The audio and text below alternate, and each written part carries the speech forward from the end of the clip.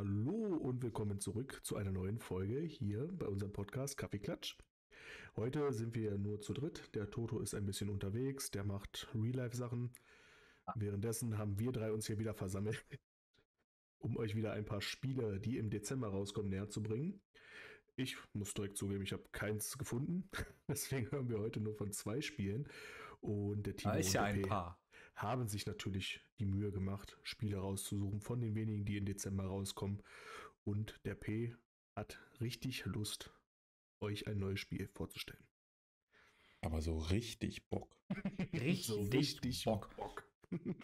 Genau, Ja, erzähl mal. Was, was, was gibt es denn da Schönes im Dezember? Und hab da, äh, bin auf ein Weihnachten. Spiel aufmerksam geworden. Ähm, dachte, oh, guck's mir an. Interessanter Name. High on Life. Ja, guck mal, was das ist. Und dachte mir, ja, da kann man nochmal zwei, drei Worte drüber verlieren. Und zwar Darf ich ist, raten? Äh, Du musst Gras anbauen. nee, nee, viel besser. Nee, ist nicht so einfach. Nee, äh, High on Life ist tatsächlich ein Ego-Shooter. Oh, Und zwar ähm, ein Ego-Shooter von Squanch Games. Und ähm, in dem Fall ähm, ist zwar, macht das der ein Co-Autor von Rick und Morty, ist für dieses Spiel verantwortlich.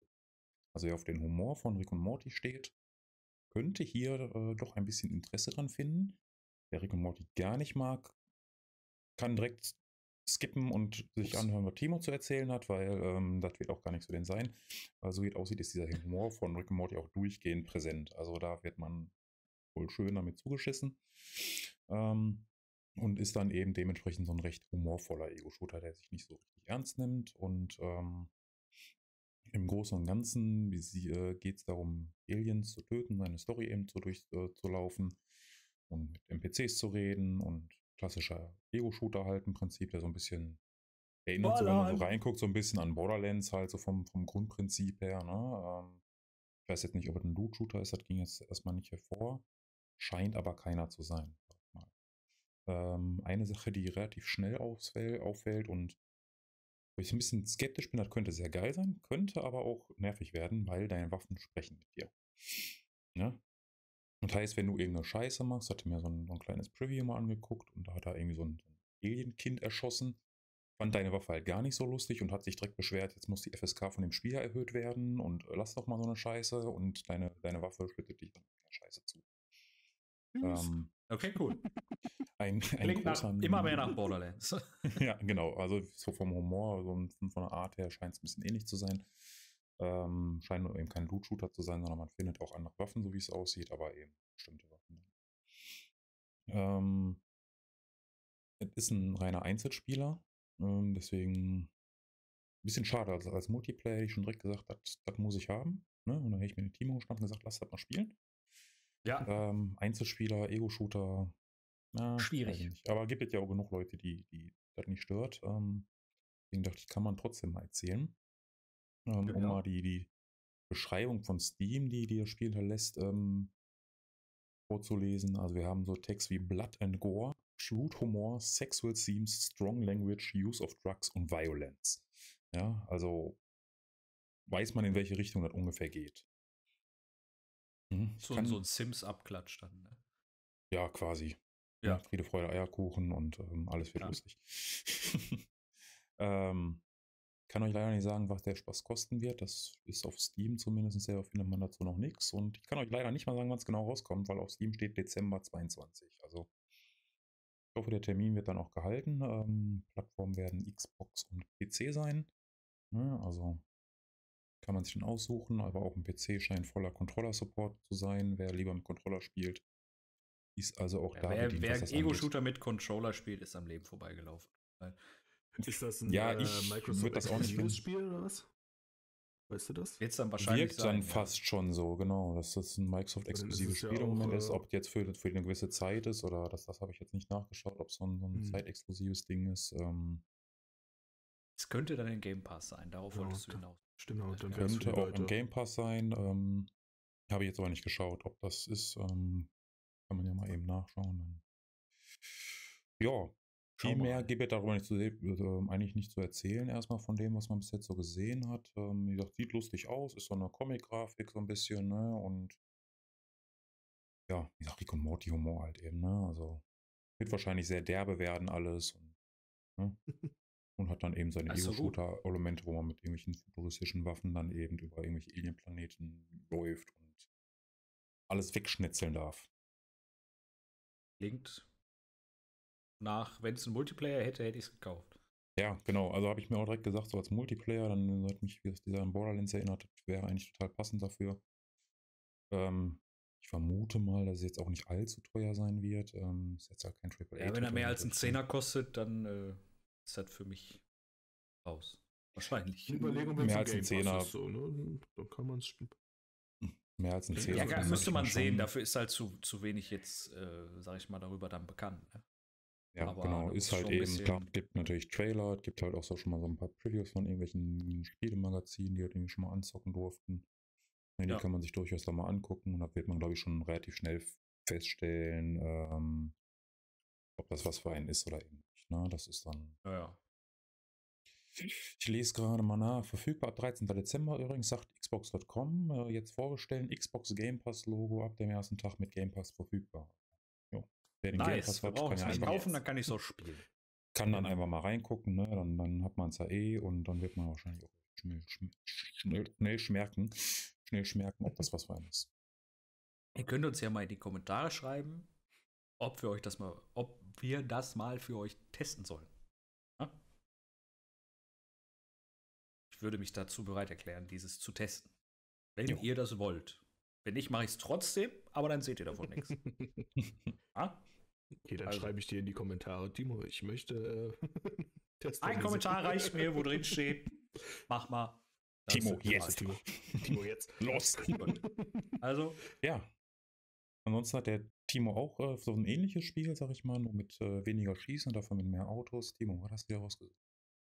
Ja, weil wer hätte es gedacht, weil meine Passion neben First-Person-Shootern oder Shootern generell liegt natürlich bei den lieben Kraftfahrzeugen in jedwediger Form, am besten flach, tief und schnell.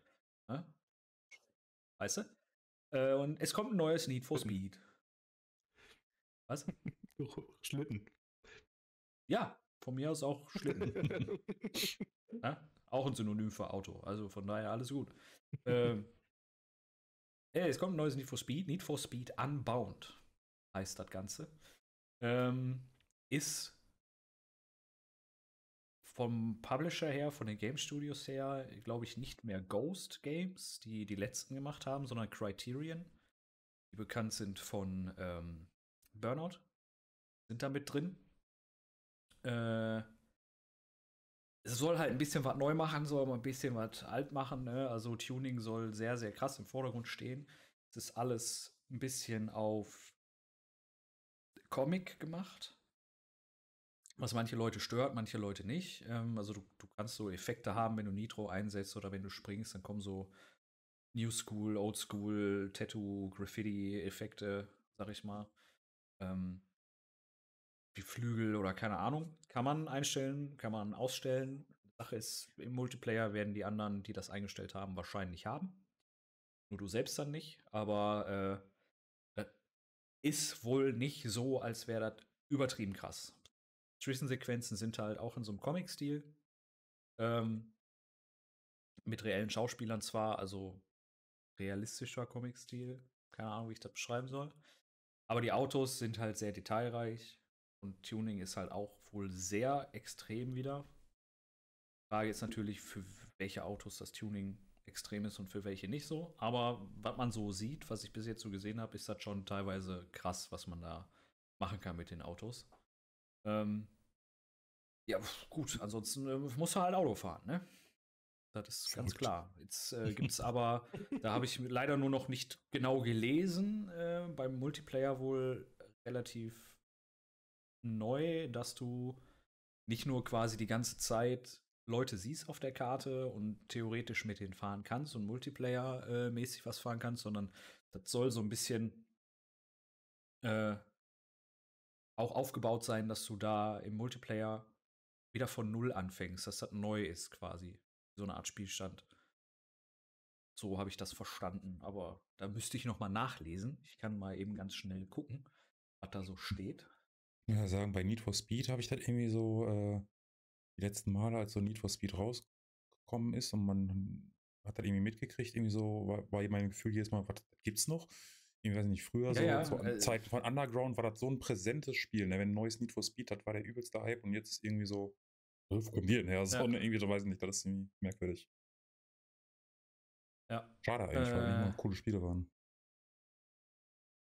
Also es gibt halt, was ich hier sehe, du kannst im, im Multiplayer halt so, so eine äh, Cash halt gewinnen und dann gibt es noch wie so eine Art Turnier, wo du dich dann halt mit Cash anmeldest quasi. Äh, das ist das, was ich jetzt gerade so rauslese.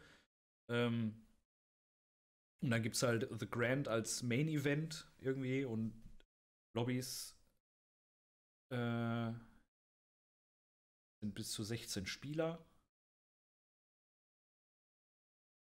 Also doppelt so viele Spieler in einer Lobby wie, wie zuvor. Und in einer Gruppe kannst du noch zu viert sein. Das ist das, was, äh, was ich jetzt auf die Schnelle rausfinden konnte. Also du kannst, wirst mehr oder weniger wahrscheinlich, so wie ich das jetzt verstehe, ähm, wenn du an diesem Grand Event teilnehmen willst, dazu gezwungen, Multiplayer-Rennen zu fahren, um Cash zu verdienen. Weiß nicht, ob es auf andere Möglichkeiten dann auch gibt, da äh, Cash zu verdienen. Ähm, generell ist irgendwie relativ wenig bekannt, was ich so mitgekriegt habe. Das ist auch fast an mir vorbeigegangen, weil die das nicht groß aufgezogen haben. Ich meine, äh, Spezi und ich waren auf der Gamescom und von Need for Speed war da nichts zu Hm. sehen. Wollte ich gerade sagen. Das, das, das kam so, so nach dem Motto, ach so, hier, wir sind auch noch da. Kommt was Neues. Und erstmal war halt groß um diese Comic-Grafik da. Das sah in den Screenshots aus, als wäre das sehr überladen. Geht aber. Ähm, Ich sag mal, das ist wie jedes Need for Speed, wenn du, wenn Need for Speed-Fan bist. Ne? Und Underground und so weiter natürlich im Hinterkopf. Ähm, ich, ich will nicht sagen, es wird Tuning geben wie in Underground 2, weil das gibt es gefühlt nicht mehr seit Underground 2. Ähm, ich habe alle Need for Speed Teile gespielt. Auch als der Relaunch 2015 kam, habe ich die Teile Need for Speed äh, 2015 quasi, dann äh, äh, wie hieß es, Payback gab es noch und ähm, Rivals, also Need for Speed 2015, Need for Speed Rivals, Need for Speed Payback. Habe ich alle gespielt.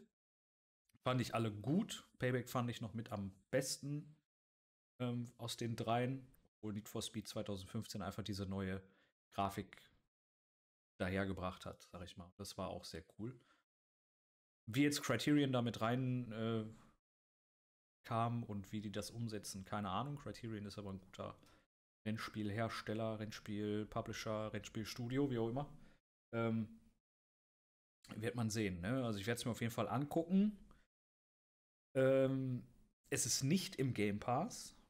Nee. So viel sei daher gesagt. Du kannst es, wenn du Game Pass Ultimate hast, damit auch diesen EA Pass quasi, gibt es wie eine Art Testversion, die du spielen kannst. Ist aber halt nicht die Vollversion. Äh, ansonsten auf Steam kostet das ganze Ding 70 Euro. Was ich sehr viel finde. Ich, also ich habe mir das jetzt gerade mal angeguckt, so die also mich schreckt das ja ab so. Äh, Ich hätte jetzt eher so. Also ich habe schon Spiele-Trailer gesehen und es ist halt nicht so krass mit diesen ganzen Comic-Sachen. Aber ich, ich sag mal so, ich bin Need for Speed-Fan und für jeden Need for Speed-Fan wird das wahrscheinlich auch wieder was Cooles sein.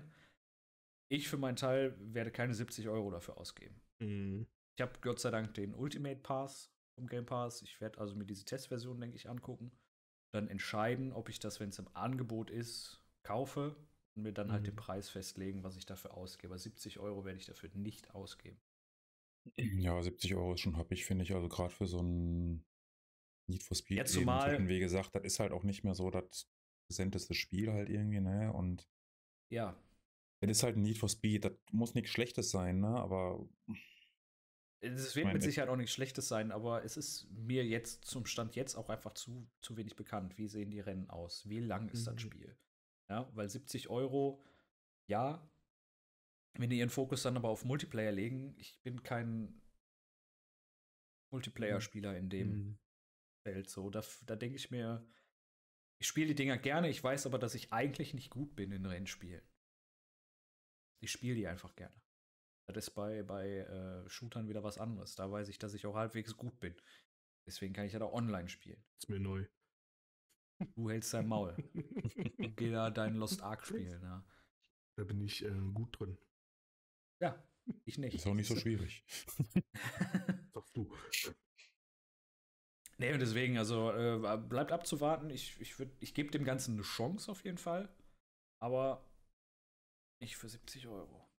Ja, bei so einem Autorennen ist ja auch immer wichtig, wie fühlt sich das überhaupt das ganze Fahrgefühl an und also da können es sind eine Kart Racer. absolute- Ne? Nee, aber trotzdem können ja da Kleinigkeiten schon einen riesen Unterschied machen, ne? Also irgendwie Ja, hast du ein gutes Geschwindigkeitsgefühl, ne? Hast du, weiß ich nicht, wie fühlst Ja. du in den Kurven an, kannst du gerade gerade bei so einem Kart Racer, finde ich, muss sich das auch einfach alles gut anfühlen. Da muss halt auch, du musst Gas geben können, du musst da geil driften können, das darf auch nicht zu schwierig sein, nicht zu einfach sein. Das ist halt.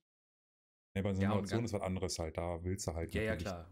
dein schlechtes Mhm. Gefühl haben, in Anführungszeichen, ne? Aber beim Kart Racer muss halt einfach ballern. Richtig. Und die, es bleibt halt abzuwarten, wie umfangreich ist das Tuning halt wirklich. Weil die reden da von Millionen von Kombinationen gefühlt oder Tuning-Möglichkeiten oder Hunderttausenden. Ja, gut. Wenn du eine Karre da drin hast, und das sind meistens die Karren, die auch während der PR-Aktion gezeigt werden, die du halt einfach, abartig viele Tuning-Möglichkeiten hast. Dann hast du aber Mhm. andere Karren, wo du dir denkst, boah, geil, würde ich jetzt gerne mal richtig schön fertig machen. Dann hast du aber gefühlt keine Tuning-Möglichkeiten. Hm. Was ich auch immer schwierig finde bei so Sachen ist, hast du jetzt da wieder Tuning-Sachen, die einfach viel zu viel hervorstechen, ne? dass die dann am Ende alle spielen oder ist es da gleich gehalten? Ne? Ich weiß gar nicht, es jetzt mittlerweile da auch so ist, dass die verschiedene Eigenschaften haben, wenn du so und so welche Sachen machst, dass du ein bisschen mehr Geschwindigkeit dann drauf kriegst, weil irgendwie der Wind anders kommt und dich nicht so ausbremst. Ne? Nee, nee. Also es gibt Teile, bei, beim, äh, bei Payback gab es halt, äh, ich, glaub, ich weiß ja nicht, ob bei den Spoilern oder so. Oder du konntest hinterher quasi die Teile tunen, um da ein Mhm. bisschen was zu machen, aber wenn es rein um die Optik ging, war das scheißegal. Du konntest da 24 Zoll Felgen auf, äh, auf den Golf knallen und den dann äh, bis zum Erdmittelkern tiefer legen und dann machst du, hast du noch deinen äh, 8 Zoll Auspuffanlage gehabt und äh, den 3,50 Meter breiten Spoiler. Und ähm, das hat an sich nichts gemacht.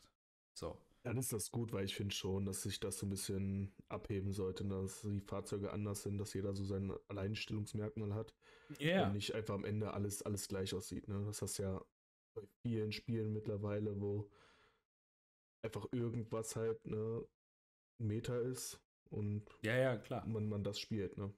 Ich finde es aber eigentlich ganz geil, so, das, das so an Forza Horizon, da hast du halt auch noch ein bisschen Simulationsfaktor drin. Wenn du da eine Karre tiefer legst, da Mhm. kannst du es jetzt halt nicht einfach so, ich schraube die jetzt auf den Erdboden, sondern du hast die verschiedenen äh, Federstufen, ne? Sport, Rennen, Offroad und so weiter. Und dadurch geht er halt auch tiefer und hat natürlich für den jeweiligen Anwendungsbereich auch bessere Werte. Genauso wie Mhm. mit der Spurverbreiterung, der Felgengröße, der Bre Reifenbreite und so weiter. Das hat da alles ein bisschen Faktor. Ne? Weil ich sag mal, äh, ein Offroad, eine eine G-Klasse auf Fahrradreifen ist schwierig. Ne? So. Anzumachen ist dann halt nur nicht geil. Ja. Denn du willst damit driften. Dann vielleicht wieder ja.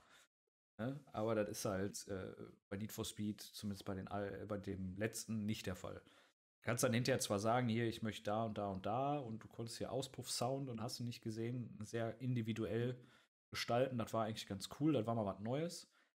Ähm, ja. Und Motorswap ging, ähm, das war auch neu. Ich bin gespannt, was so, was so da geht. Ich würde sagen, wenn, wenn ich das für 40 Euro kriege, würde ich es auf jeden Fall kaufen. Da würde ich ja auch nicht drüber Mhm. nachdenken, dann würde ich es einfach kaufen. Und äh, ansonsten weiß ich nicht, wie viel ich bereit bin, dann auszugeben. Das ist so in meinem Kopf, würde ich sagen, Need for Speed. Cool, hat immer Spaß gemacht. 40 Euro kaufe ich das safe. Je nachdem, wie groß der oder wie hoch der Umfang ist, jetzt in dem Teil, würde ich vielleicht auf 50 ausgeben. Aber 70, Mhm. und die Special Edition da, die was weiß ich was bringt, irgendeine Lackierung oder sowas, dann kostet halt wieder ein Huni, ne? Na, Also, das ist halt, ich Ja. verstehe das alles, Inflation und alles wird teurer und äh, okay. Aber pff, da muss man sich nicht wundern, wenn es nicht jeder kauft. Ne? Ja. Ehrlich. Ja, Und vor allem, wenn da so wenig drüber bekannt ist, ne, dann ist es. Ja, es kommt jetzt viel, aber ich meine, es kommt am, am schwierig. 2. Dezember kommt's raus. hm, ja verhört Das sich halt alles so an wie, ne?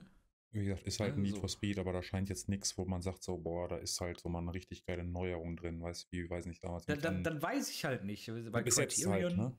ja, Criterion macht guten Scheiß. Es kann sein, Ja, dass also irgendwas wenn ich da überlege, Need for. Speed, ähm, Most Wanted, wo du damals hattest, du kannst als Polizei auch fahren und diese Geschichten, das war halt Ja. einfach zu der Zeit mega cool Mhm. einfach, ne? Das war halt einfach Ja, klar. Was Neues mal. Mal sehen. Es ist halt wieder so. Ich meine, dieses Cartoonige war halt in, in Rivals und Payback schon so ein bisschen drin, sag ich mal. Ähm, das hat den Fans auch nicht so gefallen. Die Karren waren immer realistisch gehalten, ja, das ist auch wichtig. Jetzt gehen sie noch einen Schritt weiter. So, ich weiß nicht. Also, die, die Mhm. Fanbase von Need for Speed ist mittlerweile in meinem Alter und älter.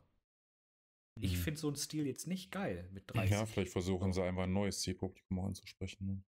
Ja, aber dafür, nee, dafür, dafür Aber dafür zu wenig Werbung dann halt wieder, ne? Dafür kriegt man dann wieder Ja, zu dafür wenig zu wenig Werbung und weiß ich nicht, dafür gibt's halt. Ist halt auch schwierig. Autorennen ist halt eh schon nischig, sag ich mal. Und dann hast du so was wie Forza Richtig. Horizon, was irgendwie alle spielen so und Ja. Zumal es auch im Game Pass ist. Du kannst da halt einfach zocken. hm. ja. Jeder, der eine Xbox hat, hat tendenziell einen Game Pass. Deswegen, also ist halt eine schwierige Kiste. Die sollten vielleicht, ja, ein bisschen back to the roots, was sie mit Need for Speed 2015 in meinen Augen ein bisschen gemacht haben.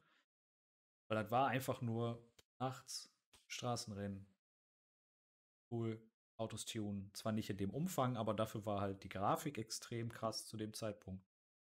Es fühlte sich alles gut an. Du hattest namenhafte Hersteller von den Autos und du hattest es einfach Bock gemacht. Ja? Dann kam halt, sind Dinge geschehen, die ein jüngeres Publikum offensichtlich ansprechen sollen. Ich finde aber, Okay, dann haben wir dann noch die letzte Spielevorstellung für Spiele, die dieses Jahr noch erscheinen, fertig gemacht. Babau! Hoffentlich konnten wir zumindest irgendwie ein, zwei Leute von- entweder davon überzeugen oder auch abhalten, vielleicht von einem Spielekauf sogar, ne? Weil auch ein Also ich Fehlkauf sag mal ist ja so, nicht schön. Schreibt uns gerne bei YouTube oder sonst wo, keine Ahnung, Instagram. Kann man bei TikTok Nachrichten schreiben? Weiß ich nicht. Schreibt uns ja. bei YouTube oder eine DM bei Instagram. Ne? Kaffeepause TV, Instagram, guckt da rein.